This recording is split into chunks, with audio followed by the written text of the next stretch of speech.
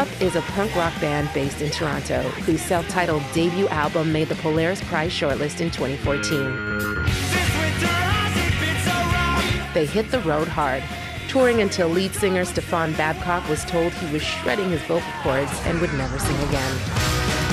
Instead of packing it all in, they released their second album, The Dream Is Over. And the dream clearly wasn't.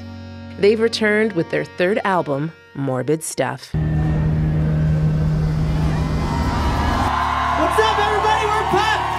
How you doing? Hi, I'm Stefan, I'm Steve. and we play in a band called Pup, and today we're releasing a record called Morbid Stuff. It's the first day of the rest of our lives. We're uh, celebrating it with this uh, release here at the Garrison. This was, I think, maybe the first place that we ever played a sold out headline show, so fitting that we should be back here after about four, five years. I don't know, time flies. It's a blur.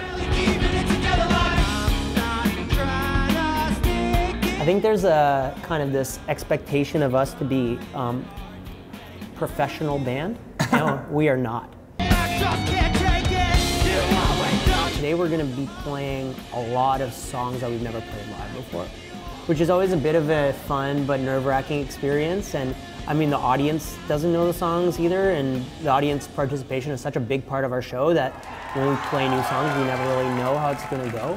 But that, that keeps it like really fun and exciting. I think I saw some people like like jamming out on headphones, like in Uh, they're line learning it here. quickly. Yeah, yeah, yeah. So that's pretty cool too. Scorpion Hill watching life. There's something just like so fun about playing in a tiny box that's just filled with sweaty people as opposed to on a stage where you're a little bit further back from the crowd and disconnected. Um, this kind of has a just a more vital kind of feel to us.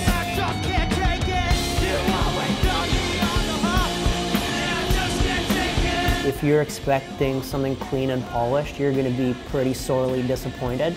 But if you come into it hoping for a fun, energetic, raw atmosphere, you'll probably get what you bargained for. There's some some hooky guitar lines and some and some almost some tempo changes as well. This feels like a little bit more experimental and a little bit more um, like us too, in, in, in a weird way, which I think is, is kind of really fun. Can you edit out the word experimental?